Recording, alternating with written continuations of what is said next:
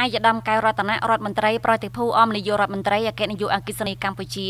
និងជាប្រធានក្រុមការងារថ្នាក់ជាតិចុះជួយមូលដ្ឋានស្រុកក្រកោនិងស្រុកកណ្ដៀងបានដឹកនាំវេទិកាសាធារណៈថ្នាក់ជាតិនៅស្រុកក្រកោខេត្តពោធិ៍សាត់មានអ្នកចូលរួម333នាក់នេះព្រឹកថ្ងៃទី20ខែកក្កដាឆ្នាំ2019ស្ថិតនៅក្នុងភូមិសំរោងឃុំក្បាលត្រាយស្រុកក្រកោ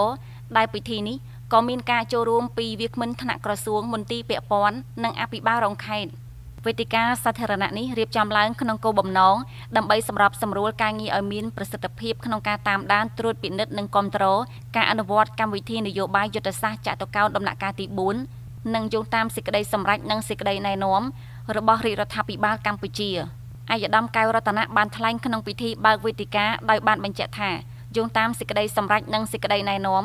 របស់រាជរដ្ឋាភិបាលកម្ពុជានោះទើបក្រុមការងារថ្នាក់ជាតិក្នុងនោះមានវាគ្មិនសំខាន់សំខាន់មកពីគ្រប់ក្រសួង មន្ទីរអង្គភាពនិងរដ្ឋបាលខេត្តជាអ្នកសម្របសម្រួលនិងធ្វើការដោះស្រាយបញ្ហាប្រឈមដែលមូលដ្ឋានបានលើកឡើងឲ្យចំគោលដៅដែលពួកគាត់ចង់បានអាយដាមបានថ្លែងថាវេទិកានេះពិតជាមានសារៈសំខាន់ណាស់សម្រាប់យើងជួបជជែកដោះស្រាយ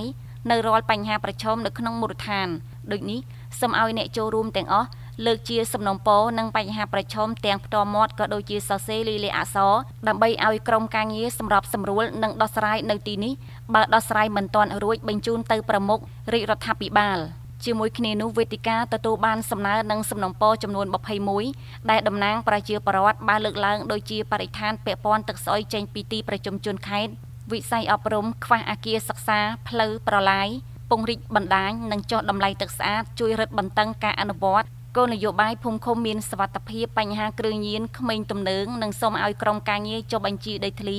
ជូនប្រជាពលរដ្ឋនៅឃុំអលុងថ្នោតជាដើមនៅរាល់សំណួរនិងសំណុំពរទាំងនោះត្រូវបានវាគ្មិនតំណាងក្រសួងមន្ទីរនិងអាជ្ញាធរមូលដ្ឋានដោះស្រាយជូនប្រកបដោយភាពឆ្លៀវវៃប៉ិនប្រសប់និងទទួលយកបានអាយដាមបានមានប្រសាសន៍បន្តទៀតថាក្រុងនឹងដាក់ប្រព័ន្ធសូឡាបន្ថែមទៀតដើម្បីជួយផ្គត់ផ្គង់អគ្គិសនីឲ្យបានគ្រប់គ្រាន់ជូនដល់ប្រជាពលរដ្ឋ និងបានក្រើនរំលឹកដល់មន្ត្រីគ្រប់ផ្នែកគ្រប់ថ្នាក់ត្រូវតែមានចិត្តតស៊ូព្យាយាមក្នុងការបំពេញនិងបម្រើសេវាសាធារណៈជូនប្រជាពលរដ្ឋដោយចាត់ទុកពួកគាត់ជាចៅហ្វាយនីករបស់យើងនៅក្នុងឱកាសនោះដែរអាយដាមក៏បានចែកជូនក្នុងម្នាក់ម្នាក់មីចំនួន1កេសនាពេលនោះផងដែរ